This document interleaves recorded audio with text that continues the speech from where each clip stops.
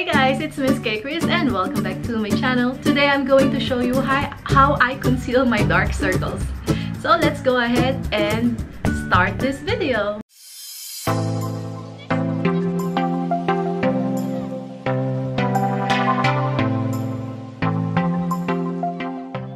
So, starting with my bare face, ang unahin kong, una kong gagawin is skincare muna. So, nakapag-moisturize na ako. And now, I'm just gonna use this uh, Bello Tinted Sunscreen. Kasi, you know, summer ngayon. Kaya, kailangan natin i-sunscreen din yung, yung ano natin, skin.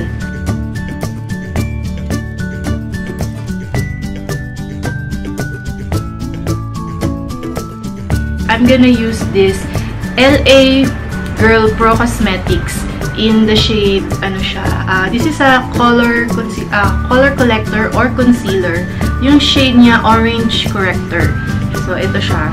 Ay, yun yung itsura niya.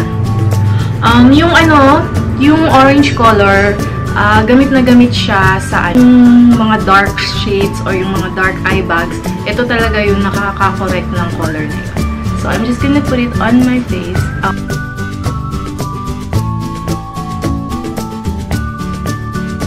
And I'm gonna blend it using my eyes lang.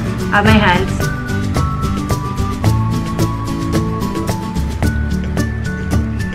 Dark areas. Yan, bawasan natin, mamsh. Sobrahan. Mukha na akong ano, payaso. Ngayon naman, I'm gonna use a cream concealer. I'm using the Kill Cover uh, Clio Concealer. Uh, Pro Artist Liquid Concealer para di para yung shadow na ginagawa nung eye bags ko, 'di ba yung puff niya. Pag gumanon ka, nagkakaroon siya ng shadow sa baba. I-highlight ko siya para yung shadow hindi siya nakikita. so kahit na magkaroon siya ng magcast siya ng shadow sa skin ko, sa itong part na to sa baba, mas maliwanag siya kasi I'm using uh, brighter concealer on that part. So, hindi siya parang merong merong anino. So, dito. Yan yung gamit ito. Para sa anino. Anino ng aking bags. So, ililive ko yan dyan. And then, later on, i-blend natin siya. Ngayon naman, I'm gonna do my foundation. I'm using the Estee Lauder Double Wear Foundation in Rattan.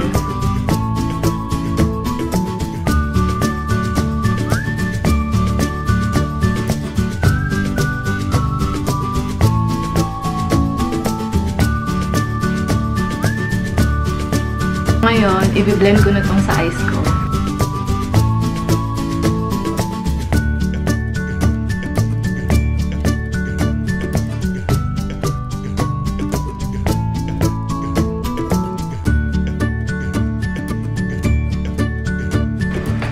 Gonna use now a damp uh, beauty blender to blend it further to my skin. So, parang hindi ko siya yung ginaganon. Parang i-inside ko lang siya. Parang dinidikit, mas dinidikit ko lang yung product sa skin. Kasi lalo na yung ano natin, skin natin dito sa sa eyes natin is very sensitive.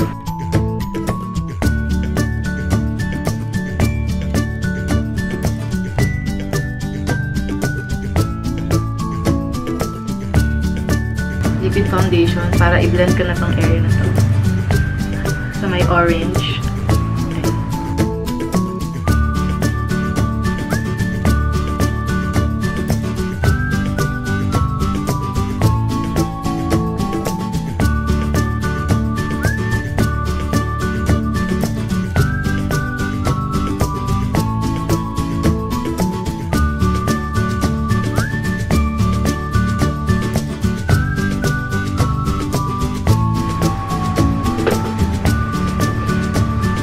Now to set our foundation and concealer, I'm gonna use this Laura Mercier, Laura Mercier, I don't know if I'm pronouncing it right, na powder. Just a little bit, ilalagay ko sa aking beauty blender.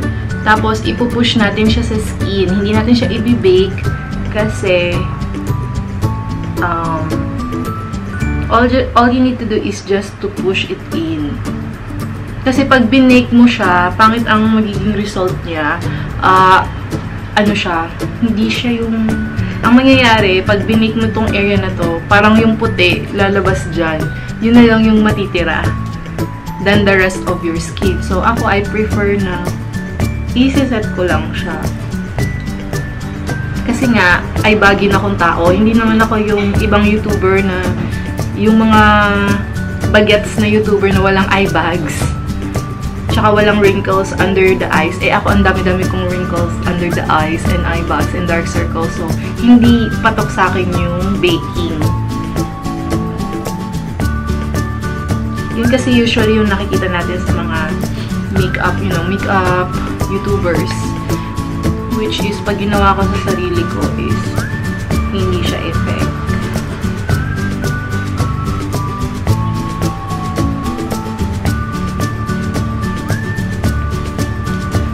So that's how the eyes looks like now.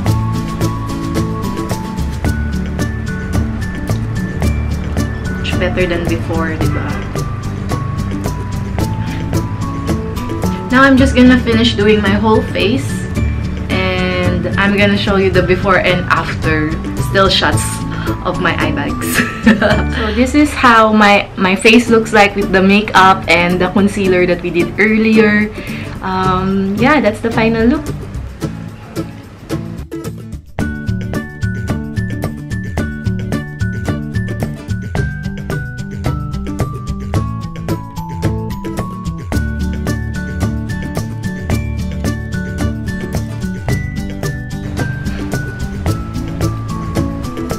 So you can see I instantly look younger, I instantly look, you know, um, fresh.